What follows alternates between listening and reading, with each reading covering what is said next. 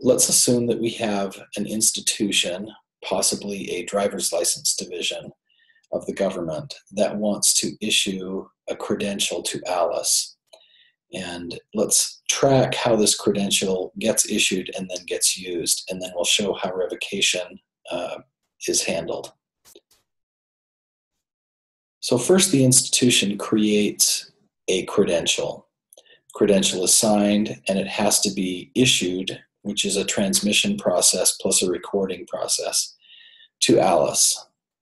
When this process is done, the issuing institution doesn't need to retain a copy of what they've issued, although they do need some bookkeeping about it. So Alice now has a credential and she wants to use it to prove something to another institution, perhaps uh, a potential employer.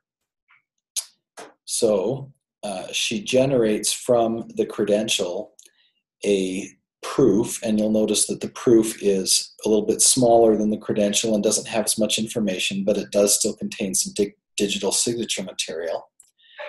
And once she has generated this proof specifically for the relying party she transmits it in a proving interaction and the relying party sees it.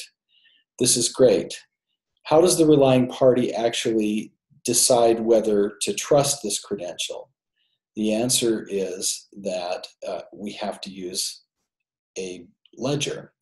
So let's assume that there is a ledger and the ledger has two important pieces of information on it.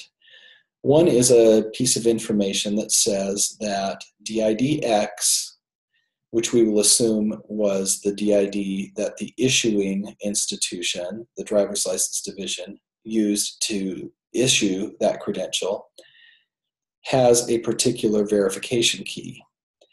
This is used so that the relying party can check to see whether the digital signatures are legitimate. The second thing that is on the ledger that is part of the verification process is this thing called an accumulator. An accumulator is basically the answer to a math problem, and that math problem has been communicated to the issuer of the or to the holder of the credential by the issuer in advance.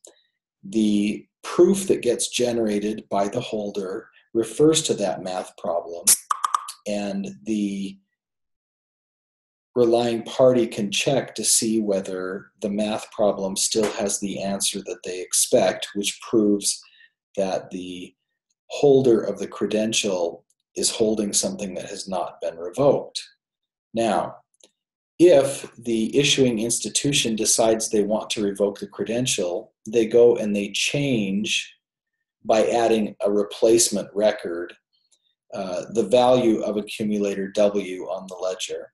And when that replacement record uh, is written, the next time that verification happens, it will fail because the math problem can no longer be solved by the person who holds the credential.